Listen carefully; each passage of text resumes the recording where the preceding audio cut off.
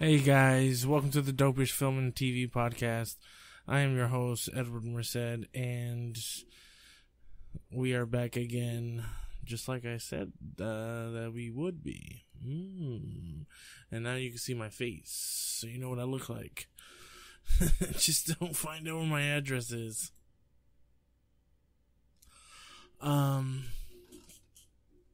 what's up, everybody? Uh, this is a podcast for everyone who loves film and TV. Um, basically, we're on the Dopeish Podcast Network, coming to you live from my bedroom. That has a lot of stuff. There's there's stuff on there's more stuff on that side than this side. I might have to switch it, or just get like a I don't know. What should I get? Let me know. This is brand new to me. I mean, not podcast. I've been doing it for two years, but for somebody to see my face, I don't know. It's kind of weird. I don't know if I like it. Um, but yes, again, this is the dopest film and TV podcast. Uh, a couple things. We're gonna talk about Artemis Fowl. We're gonna talk about The King of Staten Island. Uh, Thirteen Reasons Why. Um, season four, the final season. Is there anything I left off my list?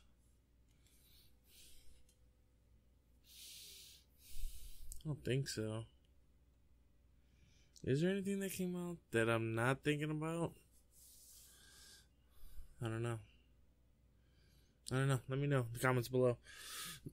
But like all good podcasts, we're gonna start with a little bit of uh the bubble. No. Oh, well, I should probably say this first. So remember, guys, Instagram, Facebook, and Twitter. Look us up, the Dopeish Network uh, where all the content is Podbean, uh, the hosting site, uh, iTunes. Um, let me see who else. Uh, Spotify, that stuff there. Um, just look us up, and you know we're uh, pretty cool. yeah, that's it. Um, remember to check out the other podcast, Heroes and Villains on Tuesdays. Wednesdays is this one. Thursdays is the stories of the mysterious and the supernatural. Friday gonna be the Slasher Club, and Saturday mornings is gonna be the wrestling podcast and full match reactions. Booyaka! Now, with that being said and on out the way, let's get into some news. I don't know. I don't know. Um, so Attack the Block 2, Joe Cornish has been speaking with John Boyega. It's a little crazy. I haven't seen the movie. I know I should. It's one of the ones that I haven't seen amongst the thousands I have or millions. I don't know. That's a good question. How many movies have I seen? I don't know, man. I don't know. Um, but that sounds pretty cool because I heard the first one's good. I'll, I'll watch it. I'll watch it this week. Okay. I'll watch it this week and I will, uh, review it. I will review it and see what my thoughts are. But it sounds cool that he might be coming back, you know, because, you know, he needs to bump up from his last movie. Um, Ewan McGregor is voicing Jiminy Cricket in Guillermo del Toro's Pinocchio. Um, that's pretty good, I guess. I don't know if I'm excited for that. When you wish upon a star. No, you know, can he pull that off? I don't know. Um, but I seen it here, and I'm gonna click on this because I have not seen this yet.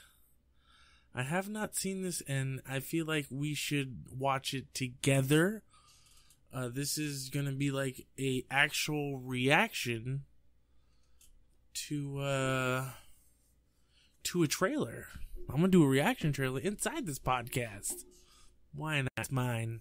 I don't give a shit. Um, Train to Busan follow up called Peninsula promises a wild ride in its new trailer. Let's see this new trailer, man. I love this stuff. Zombies, I am there. That's why I'm starting a horror podcast, man. I love that shit. Go schools to give me something to possess me, right? anyway, um, let me see. Let me see. All right, starting right now. 미쳤어. Oh, that's loud. 걸 That's- 떠들어간다고? Oh, snap. Four years after Train to Busan. Whoa. You get Oh, the this- truck, come back with the money. That's $2.5 million per head. What the fuck? If you come back alive. Oh, shit.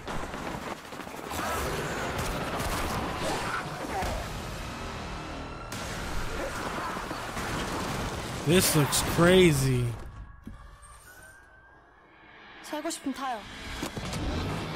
Hop in if you want to live. Was that Terminator? What the hell? At least.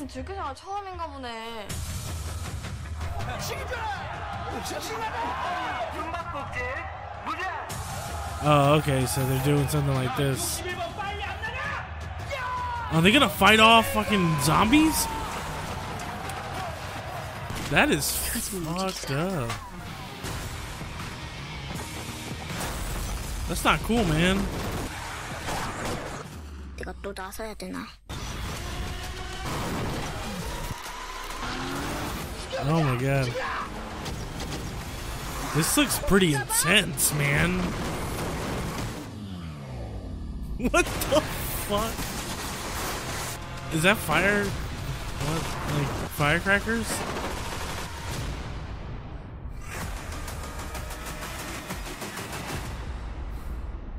Train to Busan presents presents Peninsula. What the fuck? Um, it looks kind of crazy. It looks really intense. Like Train to Bus- Train to Busan as if you're following uh this podcast network, I did it on one of the 31 days of Halloween horror movies. Um I looked at that movie. I saw it before. I just didn't pay attention and then I saw it again. It was pretty good. Um but it was it was low key. It was a low key movie. Um so uh you know, it's it, that that was just really intense. Like that was that was pretty much like double the action, triple the excitement, get down again. That that's what that was. Um, yeah, that seems pretty cool, man. Uh, I'm excited to see that because that movie was pretty tight. Um, ben Stiller is directing Oscar Isaac in new thriller London. That should be cool. Um, ooh, Will Smith is starring for Antoine Fuqua in Emascip- sorry, Emancipation. I can only guess what that is. Um, let me see. Uh, Jurassic World is going to start reshooting in July. Um, the Oscars officially delayed to April. So we're gonna see what's uh, going on there. Uh, Tenet's been delayed two weeks, but it's still coming out. Um, Miles Teller's gonna be on a survival thriller called Not Without Hope. Let me see more on this. Uh, the Tom Hanks war movie Greyhound is arriving in July on Apple TV Plus. I think I talked about that before. Um, let me see. Shh,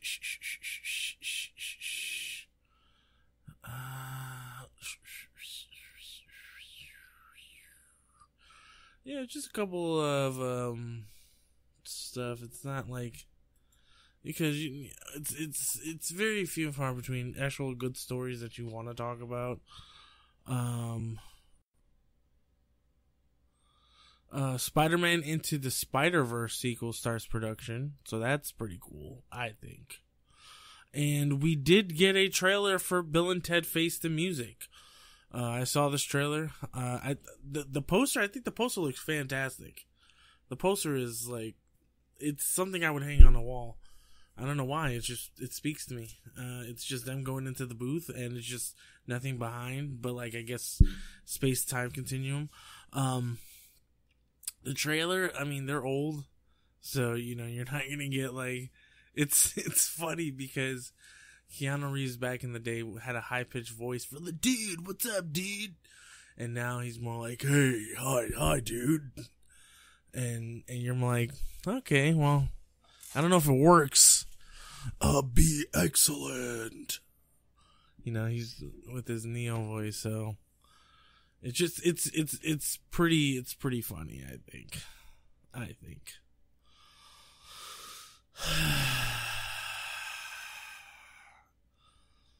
um, I guess the new Blumhouse thriller you should have left with Kevin Bacon. I don't know what that's about, but I I definitely want to look at that. That's for sure. Um, and there's not too much else after that. Um, I guess I'll just go into the reviews now. Um, Artemis Fowl will be the first one. Uh, so, you know how people bought up properties like Harry Potter, you know, the Hunger Games, and there's some that were good and some that there was not good. Uh, the Divergent series, I think, wasn't great. The Maze Runner, it took too long for the last one to get out. Um, you know, Percy Jackson was okay. It's coming back out. This is one of the ones that wasn't that great. Um, it was all over the place. I Kenneth Branagh, he did a great job with the first Thor. Uh, but this, um, you know, he's the director. This, this was just, I don't know, man. It's like, uh, like I wanted to be good. Uh, Josh Gad, you know, was like a, like a Hagrid, uh, character, um, in a sense.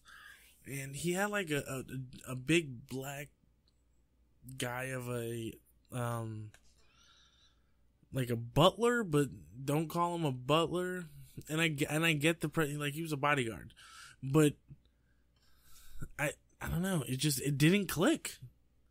It didn't click. Like towards the end, I just I stopped caring. Uh, Judi Dench uh, plays Danny DeVito uh, in the movie, and um, maybe a tinge of uh, David Bowie, but um, one one out of ten. I don't know it's just a story structure because the thing about it is, you know, Artemis Fowl's dad gets kidnapped and then he's brought into this world, but the kid is like super duper genius. So it's like, can you really fool him? But you can't, but he's still a kid. So he has feelings. Um, so I don't really know how to take that necessarily. Um, so one out of ten, I'm gonna give it like a five, maybe a four. I wasn't really hyped about it. It was, it was okay at best. You know what I'm saying? Okay at best. Um, I'll go into what's next. Uh, 13 Reasons Why. 13 Reasons Why. So, the first season was great because the story, the premise was different, and then they just dragged it along. Not not in a bad way. They they you saw the repercussions of what happened, um, and it was great. This last season, um, was good in the same vein as everything else. It was good. Um, there was times where it kind of went into like what we're experiencing nowadays and that was cool. The thing i didn't like was at the very last not the last but second to last episode something happens and it's out of nowhere. And the last episode it literally stabs you in the face. Um it's it hit it hit hard. Um, but it was good. It was I, it was good, but at the same time, just for that because you're you're hoping everything comes out okay, and it doesn't. And I guess in life, it also doesn't. So that's basically what happened. Um, the acting's good in there. They they act like teenagers.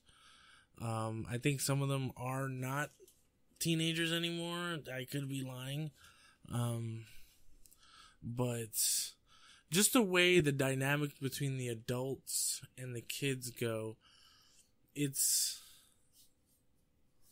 it's it's good to see in this day and age just because you're like I don't you know if that's done to me how would I react would I react the same way would I have given a shit you know it's you know at 2:30 school's over um but there's some stuff in here you're like oh I don't know about that. I don't know if parents should be doing that. I don't know if a school should be doing that. And it really questions the boundaries that teachers or educators have with their students.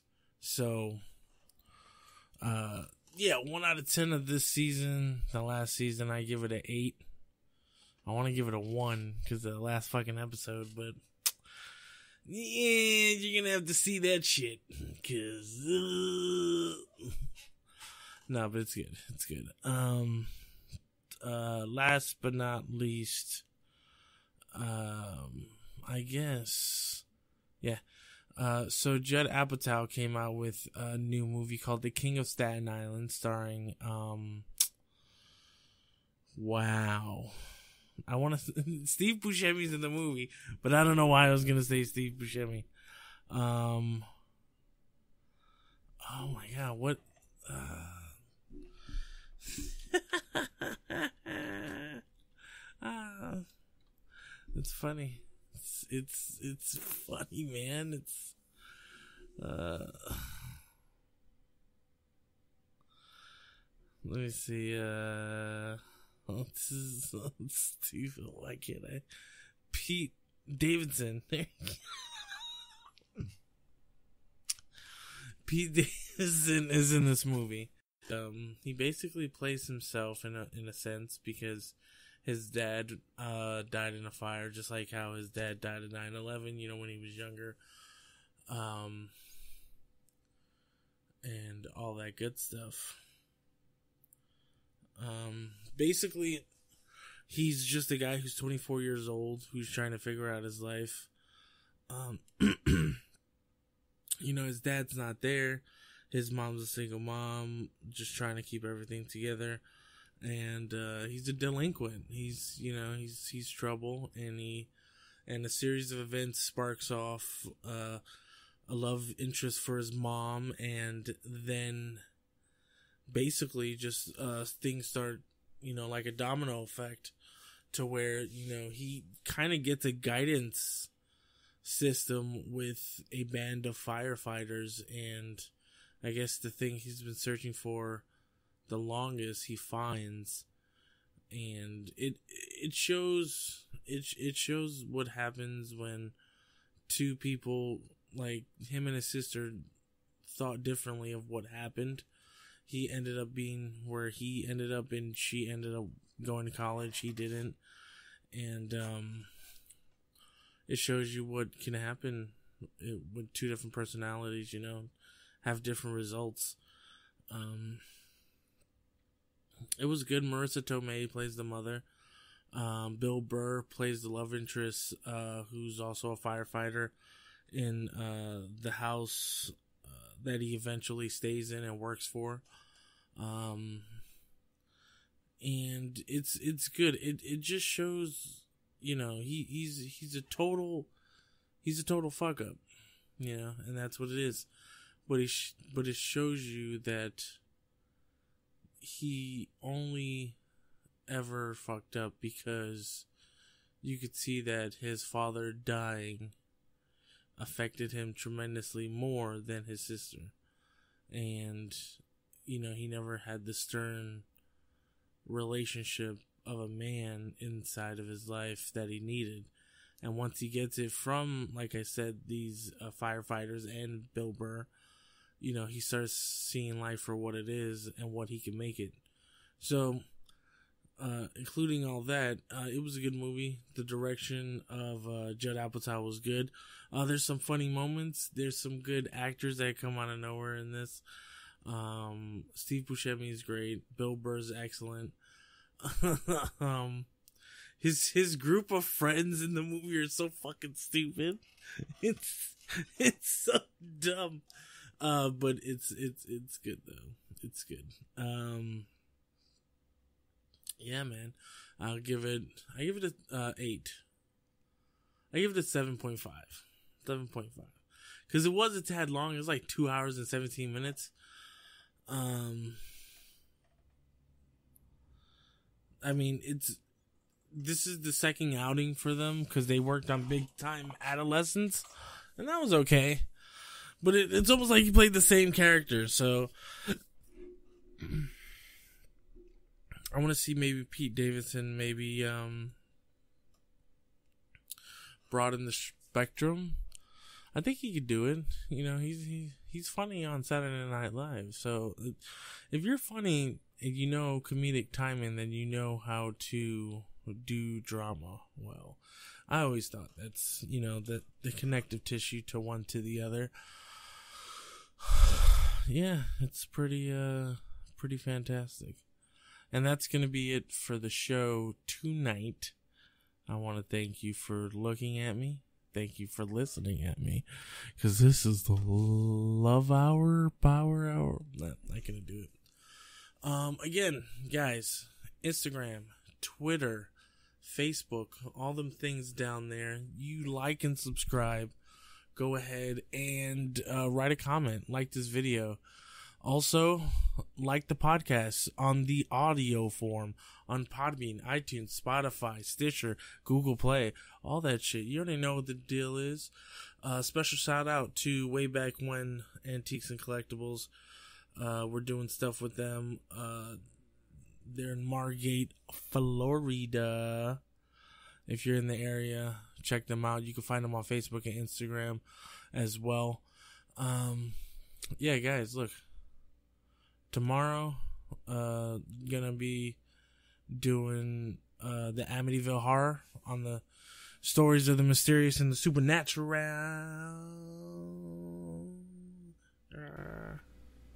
anyway again i'd like to thank you guys for uh going with me on this uh ride um and i'll catch you on the flippity flip I don't really know what to say. I don't really like this uh, music I have either. I think I might change that. I, I might get Catch Me on the Flippity Flip. Where's that from? It's from The Office. What's up, cut? I guess not. That's cool, man. All right, deuces.